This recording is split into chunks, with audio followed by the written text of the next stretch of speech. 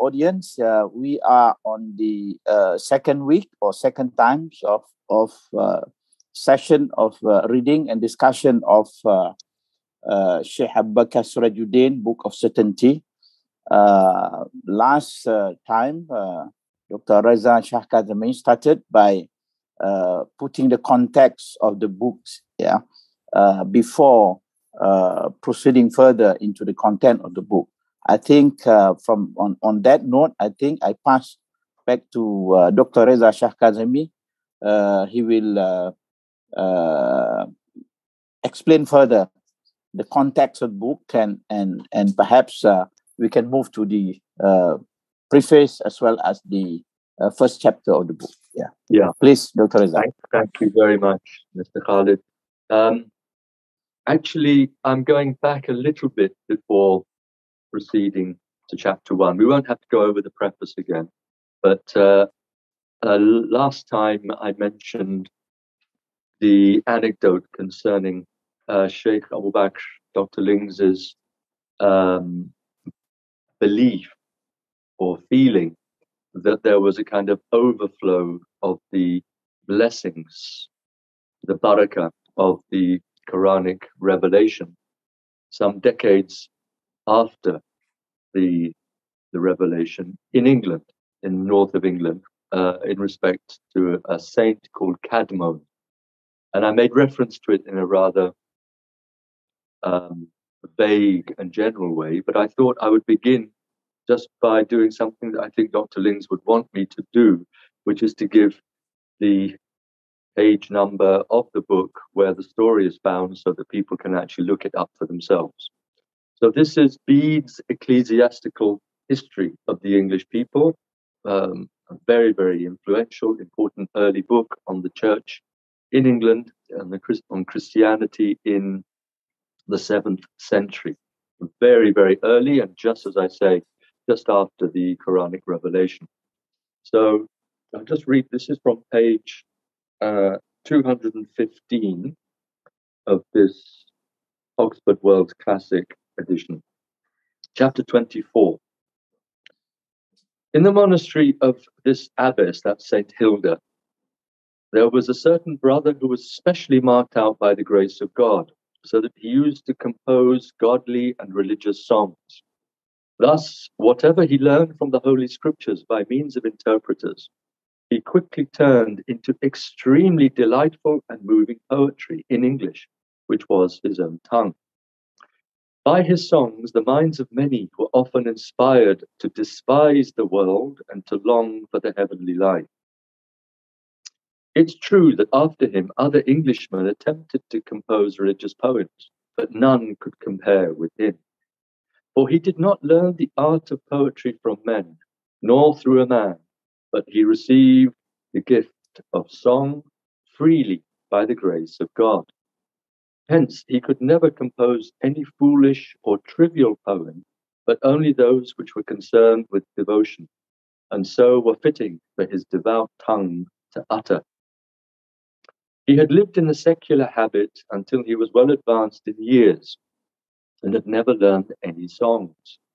Hence, sometimes at a feast, when, for the sake of providing entertainment, it had been decided that they should all sing in turn, when he saw the harp approaching him, he would rise up in the middle of the feasting, go out, and return home. On one such occasion, when he did so, he left the place of feasting and went to the cattle byre, as it was his turn to take charge of them that night. In due time, he stretched himself out and went to sleep. Whereupon he dreamt that someone stood by him, saluted him, and called him by name. Caedmon, he said, sing me something. Caedmon answered, I cannot sing. That is why I left the feast and came here, because I could not sing. Once again, the speaker said, Nevertheless, you must sing to me. What must I sing? said Caedmon. Sing, he said, about the beginning of created things. Thereupon Caedmon began to sing verses which he had never heard before in praise of God the Creator of which this is the general sense. Now we must praise the maker of the heavenly kingdom, the power of the creator and his counsel, the deeds of the Father of glory, and how he, since he is the eternal God, was the author of all marvels and first created the heavens as a roof for the children of men, and then the Almighty Guardian of the human race created the earth. End of quote. This is the sense, but not the order of the words which he sang as he slept. For it is not possible to translate verse, however well composed, literally from one language to another, without some loss of beauty and dignity. When he awoke, he remembered all that he had sung while asleep, and soon added more verses in the same manner, praising God in fitting style. So you see the extraordinary similarity of a man who says, I can't. You know, the angel said to the holy prophet, Iqra khalaq. It's all about sing, recite in the name of the God, of God who created. Exactly the same sequence. And first, of course, Caedmon says, I can't sing, that's why I left the banquet. Exactly the same with the prophet. I can't recite. I don't I can't read. So um, it's an extraordinary thing that Sheikh Al-Bak has drawn our attention to. Now, let's proceed. Um, and what I thought we would do is for about half an hour, 30 to 40 minutes maximum, we will begin um, with chapter one. So, chapter one, page one, the truth of certainty. Moses said to his household, Verily, beyond all doubt, I have seen a fire. I will bring you tidings of it, or I will bring you a flaming brand, that ye may warm yourselves.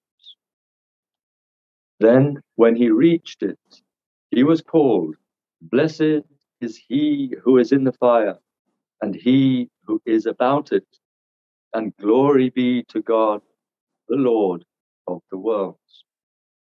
Quran 27, verses 7 to 8. That's the Surah Al Qasas 27, if I'm not mistaken. Surah Al Naml. Surah Al Naml. The ant. Have you got the Arabic then? Actually, I'd like to um, ask um, uh, Abdurrahman just to read the Arabic of that for us so that we can get into the, the language of revelation from the beginning. Bismillah. بسم الله الرحمن الرحيم إذ قال موسى لأهله إني آنست نارا سآتيكم منها بخبر أو آتيكم بشهاب قبس لعلكم تصطلون لما جاء نودي أن بورك من في النار ومن حولها وسبحان الله رب العالمين صدق الله العلي العظيم So, we begin. In every esoteric doctrine, there are references to three degrees of faith. And in Islamic mysticism, that is, in Sufism, these three degrees are known as the lore of certainty, ilmul yaqeen, the eye of certainty, ainul yaqeen, and the truth of certainty, haqqul yaqeen. The difference between them is illustrated by taking the element fire to represent the divine truth.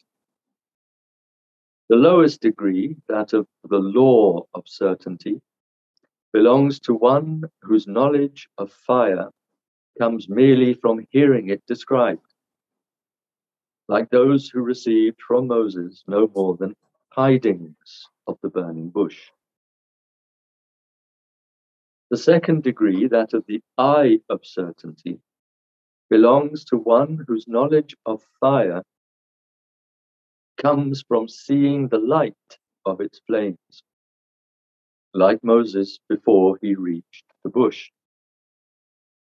The highest degree, that of the truth of certainty, belongs to one whose knowledge of fire comes from being consumed by it, and thus becoming one with it. For this degree belongs only to the One. The realization of this oneness is here implied for Moses, in that he is summoned into the divine presence with which the bush is surrounded. Entry into that presence is the equivalent of entering into the fire. Blessed is he who is in the fire and he who is about it. In another chapter of the Quran, also with reference to the burning bush, this supreme experience is confirmed by an additional symbolism. And when he reached it, he was called, O Moses, verily I am thy Lord. So take off thy two sandals. Verily thou art in the holy valley of Tuwa. Quran 20, verses 11 to 12. When Moses reached the burning bush, his extinction in the truth of certainty is represented by his taking off his sandals.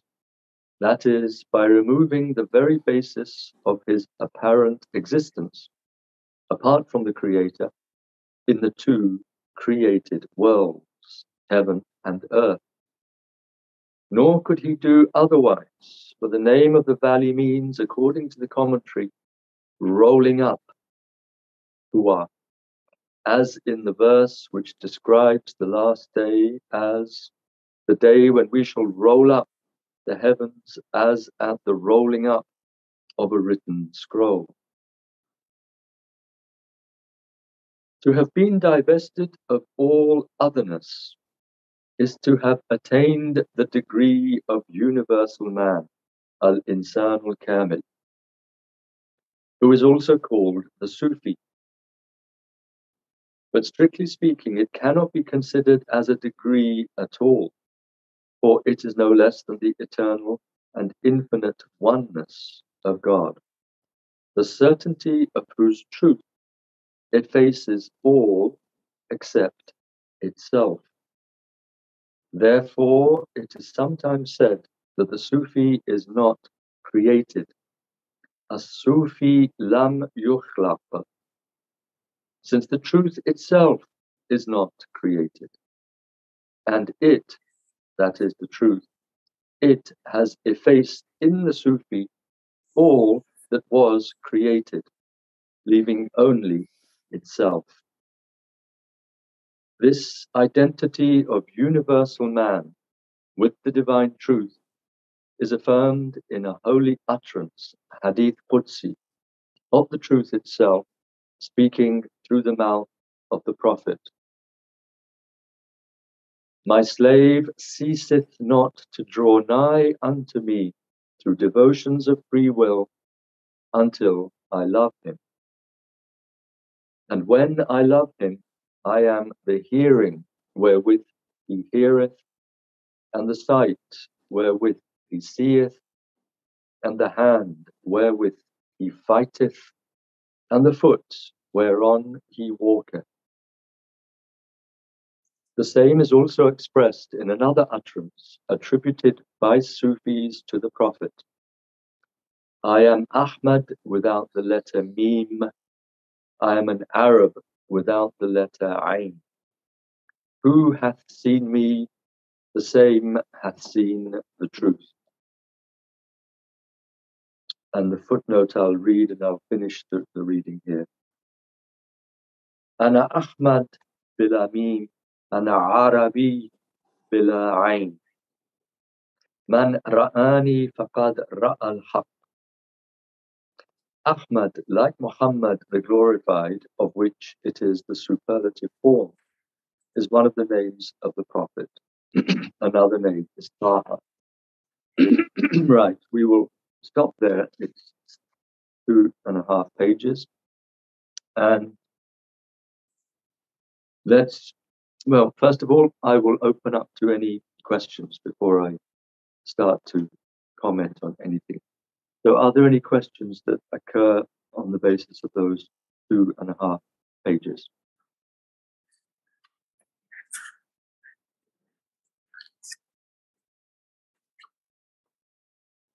If there are no questions, um, I shall begin with a brief comment on what Dr. Ling says about the three degrees of faith. Now, as he says in the Sufi doctrine, these three degrees are referred to in terms of firstly, the ilm al yaqeen, the knowledge of certainty, the knowledge that is itself certain knowledge, but which is knowledge of that which is yaqeen, absolutely certain. So it's the prefiguration of the following two degrees. It's knowledge that you hear. Lore, he's put the old English word lore of certainty. The, the doctrine, the teaching, the tidings. You hear about this thing that is pertaining to the absolute, which is absolutely certain. So when you hear about this doctrine, it awakens within you something of that certainty which will be brought to fruition only when you are completely one with the absolute, when you are burnt in the fire of the absolute, which is referred to as the symbol of the Haqqul Yaqeen. But before you get to this supreme state, which Dr. Ling says is not really a state or a degree because it is absolute, perfect, infinitude, beatitude, cannot be referred to strictly speaking as a degree, it's ultimate reality. But before you go from hearing about this ultimate reality and being burnt within the fire of that reality, being extinguished completely in terms of your otherness, of this supreme reality, there is this intermediate degree, which is the Ain al Yaqeen, the eye of certainty. Now, both of these concepts, the Ain al Yaqeen and the Ilm al Yaqeen, they are referred to in, in one particular story, which we'll come to later. But the key point here is that the Sufi is the one who travels from the outer circumference of the religion that Islam constitutes, and this can be transposed to every religion. The Sufi is one who goes from the circumference, which is likened to the Sharia, towards the center, which is the haqiqah. The haqqul yaqeen, the haqiqah, the ultimate reality is that central point which is indefinable and which is geometrically speaking, it's ungraspable. That center point, you can always get another center to that center, another center to that center. So that center stands for the absolute, which unfolds in infinitude in a manner that completely transcends the plane upon which the circumference and the radii leading from the circumference to the center, they operate. They need the dimensions of relativity, of, of space, whereas the central point transcends the plane of the dimensions of space. And it is a perfect symbol for the absolute which transcends all relativity. So the Sufi, according to the traditional doctrines is the one who travels from the circumference of the Sharia along the radius of the tariqah to the reality of the haqiqah. And that, uh, the movement, the initiation of the movement away from the form and towards its own quintessence is that first step on the path that goes from the ilm al yaqeen, you've heard about this thing, but now you have to travel on the tariqah where you're beginning to have the eye of your heart, the ayn al qalb, which is what this ain is all about. And remember, in Arabic, ain means both the eye and also the fountain, a source, or yun. And also, it means the it, it's uh, it has the connotation of the essence of something, the very thing itself. So this ain is a means of identification between the subject of vision and the object of vision. So it's with the eye of the heart, not the outward eyes, but the ayn of the qalb, that the ayn al yaqeen is attained, a vision of the fire, as opposed to just hearing about the fire from somebody else. So when you're on the circumference of the circle and you hear about this mysterious thing, the absolute, remember what the Sheikh al Alawi said when asked by Dr. Uh, Marcel Carret how is it that you have these hundreds, thousands of disciples that come to you from all over the country and you have no means of propagating? You have no propaganda, you don't send people out, they just seem to come. And this, the Sheikh apparently said to him, They come to me because they are haunted by the idea of God God's proximity, of God's presence, of God's reality in the midst of this world, they're haunted by the idea that God is closer to man than his jugular vein. They're haunted by that idea. So they've heard about it and they want to know more because it's awakened in them just hearing that there are people who have attained this degree of certainty and the, the radiance of walaya, of sanctity, emanates from these people. And this is proof that they are absolutely embraced, if not by the uh, burnt in the fire, but embraced by the presence that surrounds the fire. So they have attained a degree of sanctity. And that you hear about this and you hear about their doctrine, you think, ah, it awakens in me a desire to move towards that myself. I want, I need to enter into this sphere of certainty that gives rise to sincerity, ikhlas, that gives rise to sanctity, walaya. So all of these things are heard about and you feel the need to move towards it.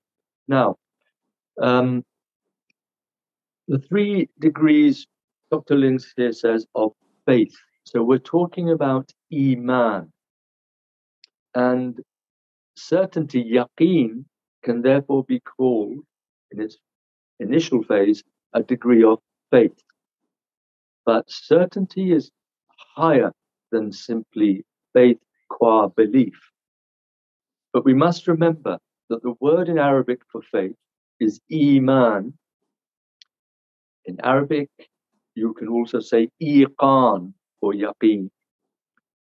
With that connotation of the fourth form of the Arabic verb of making something. So Iman is not just faith as an abstract concept. Iman is an active, dynamic process by which faith and security is established in the soul because the root of this word Iman, as we see in the name Al Mu'min, we don't refer to God as Al Mu'min, meaning the believer. We say Al Mu'min is the one who gives security, who gives you protection, who gives you this um, secure foundation in faith. So, Iman is the process by which you are given that fundamental, absolute rootedness of security in faith. Iqan is the process by which you attain certainty. Islam is the process by which you submit and thereby gain peace. So it's making peace through submission. And ihsan, to go back to the famous hadith Jibril, where the Prophet was asked about these, these dimensions of the faith. Ihsan is not simply virtue or goodness, it's making beautiful, coming to husn through an active, dynamic process of assimilation and radiation. So these three degrees of faith are three degrees that take you from a conviction or a belief into the air which is always susceptible to doubt. If it's only on the mental plane and it's a logically constructed belief and it's using data, even if it's using data from revelation, if that part of the consciousness that is addressing that data is only the rational mind, then that same rational mind will be able to raise all sorts of doubts. Because what is constructed by reason can be deconstructed by reason. But what is established by the heart and by the deeper degrees of consciousness is not susceptible to doubt. So that is the difference between a conviction which is dubitable and a certitude which is indubitable. Un, it's not susceptible to doubt. That's why this whole thing is called the book of certainty. There is no doubt. La rayba fi. There is no doubt about this. So let's see if anybody has any question based on what I've just said now. If there are no questions, I will continue with the reading. Um, Actually, I'll, no, I'll continue with a, another comment on uh, yes, the, the, the doffing of the, of the sandals. Take off thy two sandals. I'll go to that. But before I do that, is there anybody who has any question? Um, I had a question about the um, about attaining the degree of certainty. I don't know if this is addressed later, but um, how how does one know? Um, I mean, the, there's this idea of being consumed by the fire. So the idea is that there's no doubt; it's very clear. But how do you take into account this idea of self-deception? because there are many people who claim to have spiritual states who may genuinely believe it, but they may actually be, you know, uh, going through experiences that we paths that we would consider to be um, invalid, like heterodox New Age movements and that type of thing. But they claim to have had those types of experiences, so they claim to have attained some some degree of realization. So, how do we how do we know within ourselves? whether we have actually attained something or whether it's just self deception. Yeah. Well, as I was saying about the difference between um, mental conviction and spiritual certitude, um, one of the signs that what you have is only on the rational plane is that you will be prey to doubts. And similarly, one can say about spiritual experiences that, uh, as Schuon has said somewhere in in the book Esoterism as Principle and as Way, the chapter concerning apparitions, visions, auditions, apparitions of apparently celestial order, he warns us that the, that many um, charlatans will fall prey to these outward experiences. And the key distinction to make here is between what is a phenomenal experience as opposed to a principial certitude. Because even if you have a vision of an angel or this or of that, it remains a phenomenon. Even if it's a celestial phenomenon, it remains a phenomenon. And this is distinct from the noumenon, numinous reality. Phenomenon is what comes out of what is in itself numinous and above and beyond all manifestation. So, what pertains to the world of phenomena pertains equally to the world of that which can be doubted, all phenomena. Because when you're talking about certitude, you're talking about pure principiality, the purity of your certainty, the, the totality of your certainty, relates to the absolutely supra-phenomenal nature of the principial reality. So always keep in mind the distinction between phenomena that can give rise to states, ahwal, states of consciousness that come and go, as opposed to the principle the principles of ultimate reality, which do not come and go. They are not transient. They are not bound by time and space and form and ethereal substance, whatever it may be. So when a person claims to have attained some degree of realization of maqam or anything, and it's based on something to do with states of consciousness, as opposed to the indubitable certitude which leads to total sincerity, ikhlas, which in turn radiates, as I've written a, a chapter on Dr. Lings, the sanctity of sincerity, that where ikhlas is perfect, where you're purified of all of your egotism, all of your pretensions and vanities and delusions, then what streams forth from a really sincere soul is the purity of the divine radiance, and you feel it. And you don't depend upon some phenomenal manifestation. You know with absolute certainty that this person is rooted in that absolute certainty. And that from him, as a result, comes. I'll give you a little example, uh, an anecdote. Um, we were with Dr. Lings, um, my wife and I, my, my late wife, Noreen, and I took him to a talk in Notting Hill Gate in London, and it was at a, a church. Uh, I think it was organized by the Temenos Academy, and it was in this church which had a roof of glass. So the sky was completely visible through the glass. And it was a talk, I think, yes, it was a talk on, on Guénon and Schuon. And he said that when I first read the works of René Guénon, it was as if I was struck by lightning. And the very moment he said that, the sky lit up with this enormous strike of lightning. It was incredible. It was almost like cosmic stage management. Amazing experience. Everyone was sort of looking at each other to say, Did you see it? How did that happen? And he didn't bat an eyelid, he just carried on with the talk. And, and, there was no lightning before that, and there was no lightning after that. It was just that one bolt from the blue that came to say, Well, this is what it was like, people, at the League. This is what it was like.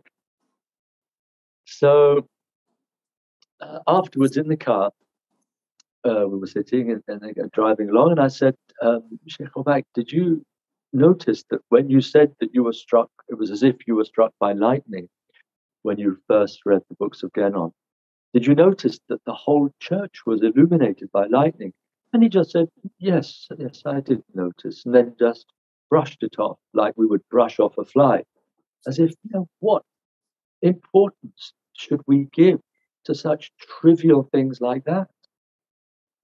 You know, so he was constantly uh, making us aware of the absolute spiritual imperative of distinguishing between phenomena and principles. Phenomena can be doubted, principles cannot. Intellectually indubitable principles, we cannot doubt mathematically that 2 plus 2 equals 4. We cannot doubt that the absolute reality of God is perfection, felicity, it's this, it's that. It, these principles are indubitable. We know with our heart that the absolute reality is the sovereign good. That cannot be subject to doubt. We know with absolute certainty, La ilaha illallah, there is no reality but the absolute reality. There is no divinity but the one and only divinity that there is no felicity outside of that reality, and so on and so forth. We know these concomitants of intellectually indubitable principles with that element of indubitability within our own souls, because we are made in the image of God. The heart is the throne of the All Merciful, the throne of Ar Rahman. So it's with our heart that we can have access to these principles of certainty that give rise to absolute uh, uh, to The certainty that, in the words of Schuon, leads to celestial serenity. I can't remember where he says that, but this is a, a sign, if you like, of a true master.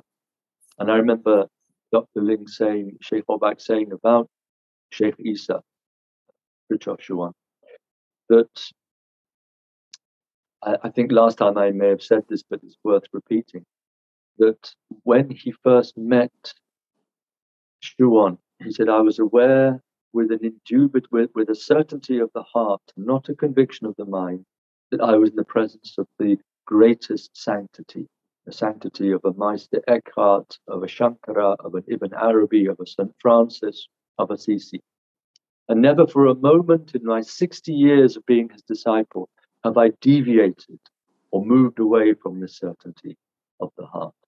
Now, another thing that he said when he met Schuon was that he was aware that Schuon, this is the age 27, 28, whatever they were, they were in their late 20s, that this man had amazing depth of serenity.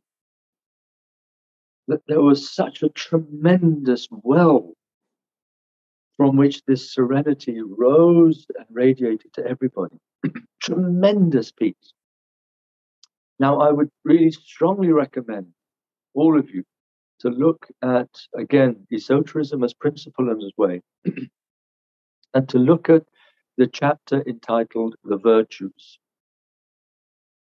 In that chapter, Schuon talks about what distinguishes a natural virtue from a supernatural virtue, from a spiritual virtue, um, and says that ordinary virtue is like a social asset it's just one dimension of perhaps something you were born with and you manifest it to others. But true virtue, whether it's generosity or humility, charity, compassion, whatever may be the, the virtue in question, it will be true and supernaturally efficacious, spiritually galvanizing, to the extent that this virtue encompasses the whole soul and coincides with, I forget the exact words, but coincides with a fundamental impartiality.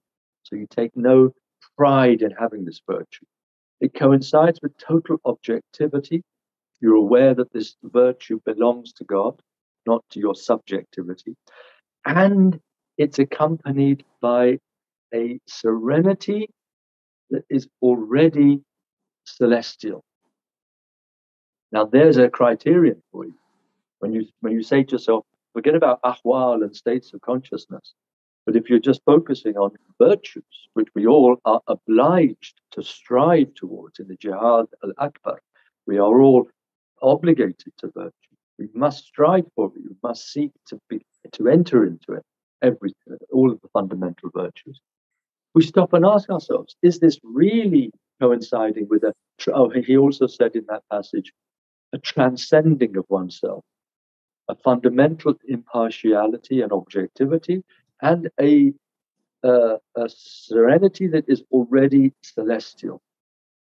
So if we realize that in our strivings we don't experience this serenity that is the proof of the efficacy and authenticity of our virtues, then we know there's something wrong. Um, so we have to you know, put put it right. We have to try and put right what is wrong within ourselves. So a little anecdote on this question of the different. You're going back to your question. Um, phenomena, states of consciousness versus principles. The, the, I heard the story in Bosnia, and uh, it's a bit naughty, um, but I think it, it makes a good point. Um, a, a Sufi master was traveling with his disciples, going from village to village. And he came to a particular village and, and, and uh, was preaching, and then he performed the little miracle. Villagers were astounded. You know, he produced an apple or something, saying, "You know, I can show you the fruit of my my great spiritual station." And he just came. So, ten members, the ten uh, inhabitants of the village said, Oh, this man is incredible. We must follow him. So they went with the entourage, now swelled by an extra 10, and they went up to a hill, and the donkey on which the sheikh was riding let off wind in a particularly loud and obnoxious manner. And the 10 disciples that had joined him from the village, they ran away. And the sheikh said, Those people that came to me because of one phenomenon left me because of another phenomenon. But they're basically the same. Whether it's a phenomenon that produces a miracle or a phenomenon that produces a curse, it's the same. It's on the phenomenal plane. So if you're attracted to me because of these phenomena, you will be repelled from me from other phenomena. So it's a very nice story. And also, on a more serious note, I should say also what Schuon says in um, in the um, esoterism as principle and as way that um, that the devil can produce nine phenomena, can tell you the truth, predict the future nine times, only in order to deceive you on the tenth. So there can be all sorts of wonderful experiences and prophecies and things that come true, but it's all a kind of istidraj, a gradual punishment being given to you for that tenth time when you want to be deceived. So if you, the only way you can actually eliminate this from your soul is to say to your soul, I only want God. I do not want a spiritual experience. A spiritual experience is something that can be true and it can be false. But this is where the Sufis make this distinction between the ilm al khawatir, the knowledge of incoming thoughts, um, inrushing opinions, ideas that come, that there are the there's the the in, three degrees of it. The khawatir, the thoughts, the quote inspirations, can be either from the devil, khawatir al shaitaniya, then al insani or nafsaniya on the level of the soul, and then the al ilahiyya or malak, malakiyya, the angelic ones. So those are the three kinds of thoughts that come, and we have to be very discerning uh, as to the source of them. Um, Schuon also says in that chapter that, of course, you may have spiritual experiences, true celestial apparitions. And if they are true, you must be grateful for them. But the criterion of their authenticity is the long term impact it makes upon your soul, upon your character, upon your orientation. That does it take you up into pride for a fall, or does it take you down into a deeper sense of humility and awe and gratitude for what's been given? So he says, You may receive graces and you must be grateful for them, but this is the crucial point you must never base your life upon those experiences. Your life, your spiritual life, your outward life must be based on principle. Principle and the actions that correspond to those principles, which are fundamentally the remembrance of God, prayer, meditation, invocation, recitation. In, one respect, that's all attuned to the pure principles that are indubitable, and on the other, a constant striving against one's own imperfections, faults of character, and so on. That you can't doubt either. When you're doing those two things, when it's, to quote the monastic, uh, ora et labora, prayer and work. So it's it's prayer that opens you up to the ultimate reality, and that work, the jihad, is against your concrete imperfections. Eliminate them, fight against them, and then God's qualities will come through you, but it's got nothing to do with the level of experience, the, the, the, level of experiences or phenomena. And the group within Tasawwuf that I've come across that puts that helps help me more than any other group or any other perspective to understand the absolute importance of marginalizing and minimalizing your attention to phenomena, to experiences, are the group known as the Malamatiya. Now, this is not the Malamatiya that we hear about, the kind of sensationalist Malamatiya who deliberately do bad acts in or, or questionable acts in order to elicit the blame of conventional people. These are the Malamatiya about whom Abdurrahman as-Sulami writes. The Malamatiya who actually say that don't even take joy or, or delight in your spiritual experiences because they can open up your nafs, your soul, your ego to all sorts of delusions. And so that group, the, the, the the people of blame, are the ones who don't want to talk about. In fact, they are blamed by the more conventional Sufis because they seem to be so boring. They only want to talk about the Sharia and fine points of law and say, get on with your prayers and do this, that, and then don't talk about maqamat, the stations, the states, anything. Keep everything rigorously inward. Don't have anything to do with the outward world at all.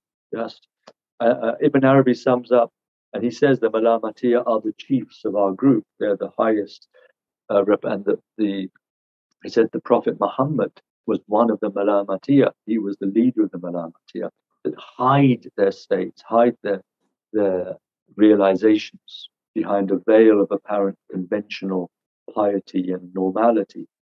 They're the highest of the Sufis. Um, Ibn Arabi sums up their approach by saying that these are the ones who understand Sufism to be the five daily prayers and the awaiting of death. Intidar al maut. They just do their prayers and they wait for death. Nothing nothing else. It, it seems very boring, very conventional, but it hides the highest stations of consciousness that they just don't talk about. Right. So thank you for that question. And I think maybe we have time for one more. Yeah, maybe we have time for one more we uh, before we stop. I'm being told by the timekeeper here that we, we've already nearly been an hour. So if there's one question that anyone has, we can go to it. Otherwise, uh, we will For next me, time. it- we'll- Uh, like just one question, uh, Dr. Reza. Yeah. Uh, uh, in the in the uh, uh, uh, uh, Dr. Dr. Lings mentioned that the Sufis are the third degree. Uh, the Sufis are in the third degree. So what about the other the, the first uh, the first two? Who who are they?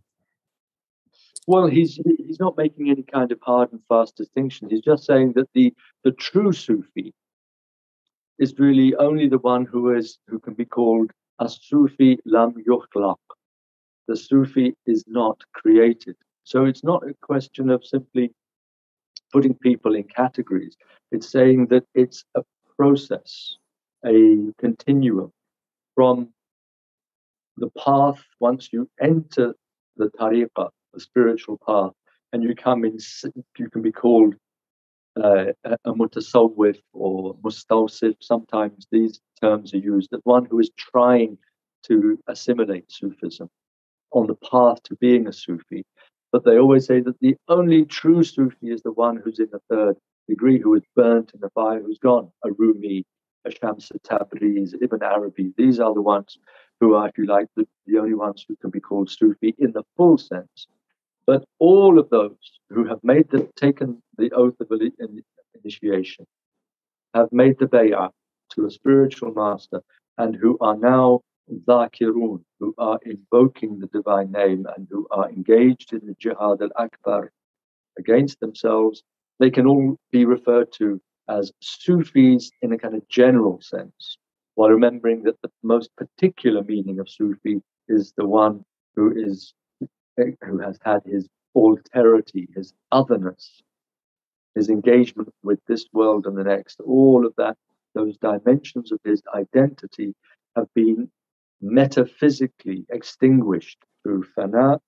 And so, what is remaining, what comes through such an individual, is what was expressed in the Hadith Qudsi. When I love the slave who comes to me through devotions of his own free will, his nawafil, meaning the dhikr, totally giving oneself through the dhikr to Allah Ta'ala, then I, God, become the hearing by which he sees, hears, the sight by which he sees, and so on. There's an identification, the supreme identity is how Guénon referred to it. So, yeah, we, don't want to get caught up too much on saying that this, the only the only Sufi is the one who has attained fana and baqa, and everybody else is something else. No, the Sufis as a group, they call themselves often, as you know, the fuqara, the ones who are poor. And the maybe next time we'll start with this point. Um, we, have gone on a little bit too too much today, um, but next time we'll we'll start with Ibn Ata'illah's great uh, description of the fuqara who are dhakirun, the ones who are invoking the divine name. So we'll start with that next time, inshallah. All right. Thank you very much, Dr. Reza. You're welcome. Uh, for the explanation and commentary on the uh, Share uh, the Book of Certainty. Yeah, thank you very much for everyone for uh, participating mm, in this uh, program.